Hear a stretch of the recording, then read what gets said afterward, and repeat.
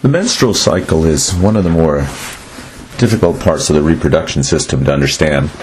Um, it requires you understanding some of the reproductive anatomy.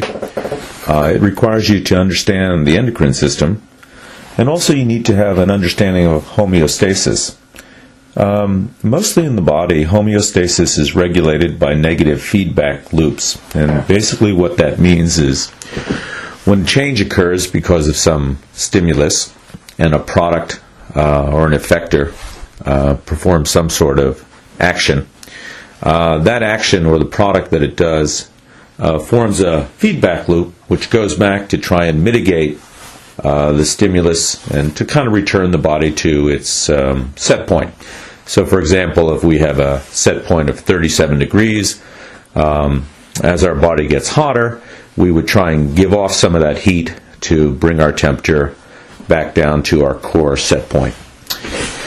Let's go ahead and try and break up the menstrual cycle into the little pieces to uh, hit upon these ideas, and then we'll kind of put them together to see how it all works. Uh, why don't we do the anatomy first?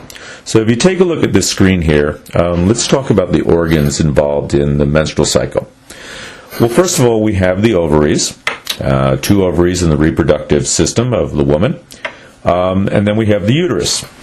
But what we're really interested in is a buildup of the uterine wall, and that's called the endometrium. And that's going to be the layer where the egg is actually going to implant itself if it gets fertilized. So from now on, let's refer to the uterus as the endometrium. In the same way, the purpose of the ovary, of course, is to produce an egg.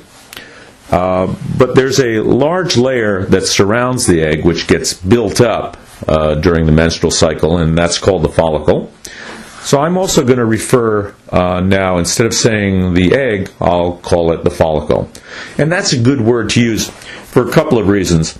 Uh, first of all, uh, you can now understand that follicle stimulating hormone, which comes from the pituitary, is actually used to stimulate the egg or the follicle. And also, it's analogous to the male reproductive system. So in our male system, the sperm would also be called the follicle, and it would also be under the um, effect of follicle stimulating hormone. Finally, we have a new organ here. If you look way down here at the bottom, I've got something called the corpus luteum right there. Now, we haven't seen that before. The corpus luteum is a special organ which is produced after ovulation. So, when the follicle ovulates and the egg is released into the fallopian tubes, what remains is now called the corpus luteum. So we don't see this until the latter part of the menstrual cycle. Okay, these are the organs. Let's go on to the next screen here. Let's talk now about the hormones involved in the menstrual cycle. I've got five of them listed here. Uh, let's go through them one at a time. First of all, GnRH. That stands for gonadotropin releasing hormone. So that is, let's bring a different color up here. That is this one right here. Now that one is produced by the hypothalamus. Maybe we should just take a moment here to review what the um, the flow chart is, the outline for how feedback works. Basically, it starts in the hypothalamus, that's in the brain, and that monitors the levels of things in the bloodstream. Then the hypothalamus goes on to influence the pituitary at the base of the brain. The pituitary is considered to be the master gland. So, gonadotropin releasing hormone, let's write that down here. That would be produced in the hypothalamus. Okay.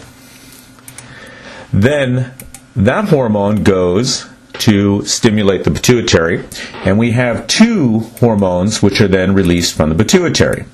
Those are follicle stimulating hormone and luteinizing hormone.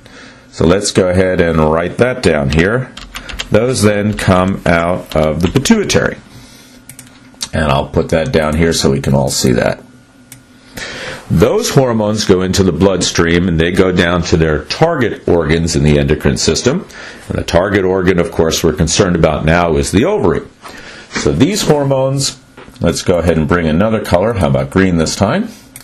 These organ, these uh, hormones go down to stimulate the ovary, and the ovary, in response to those two guys, produces its hormones, which are estrogen and progesterone.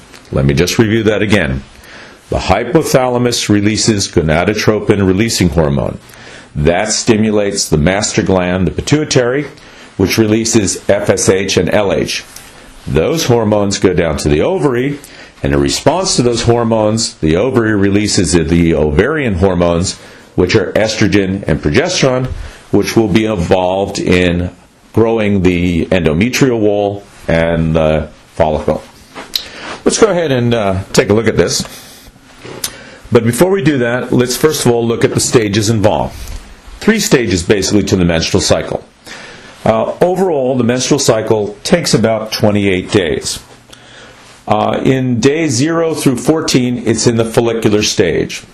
Now, the follicular stage is called that because we're mostly interested here in the development of the follicle. So, as the follicle is growing, getting bigger and bigger under the influence of follicle stimulating hormone, that would be called the follicular stage. Finally, at about day 14 on average, let's bring another color in here, the follicle ovulates. So it ruptures and out comes the egg into the fallopian tube. That leaves behind a remnant of the follicle remaining at the ovary. Now we call that remnant the corpus luteum. And now we enter the luteal stage, which goes from 14 to 28 days. And as you can guess, uh, at that point, the corpus luteum is probably under control of the other pituitary hormone, luteinizing hormone, LH, and that's where it got its name from. Okay, I think we're now covered the preliminaries. We can start putting this all together. Let's take a look at a picture of what's going on here. So if you look at the stages here, as I said, from 0 to 14 days, right here, we go through the follicular stage. And you can see here how the small egg, that's the egg there, that little dot inside the larger salmon colored circle, which is the follicle. Little dot is the egg itself. You can see that the follicle is actually getting bigger and bigger and bigger, again, because it's under the influence of follicle stimulating hormone. Then at about 14 days, right here. On average, we have ovulation. The follicle ruptures, out comes the egg into the fallopian tube. Now you can see that this salmon colored follicle no longer contains the egg, and it's left as a remnant right here, which we call the corpus luteum. So now from 14 28 days, we would call this the luteal stage. And you can see that at first the corpus luteum starts to get bigger and bigger. It's under the influence, remember, of luteinizing hormone. But after a few days in the luteal stage, it starts to degenerate and decay, and that's going to have big implications for what actually causes menstruation. Let's go to the next screen. Here is a negative feedback loop putting all these pieces together. Let me go ahead and uh, change my color here so you can see it. How about red? We start up here in the hypothalamus, right? That's in the brain. And the hypothalamus is releasing gonadotropin releasing hormone, which goes down and influences, let's bring a different color up here so you can see it. How about green? Which influences the pituitary. And the pituitary response to that will produce its two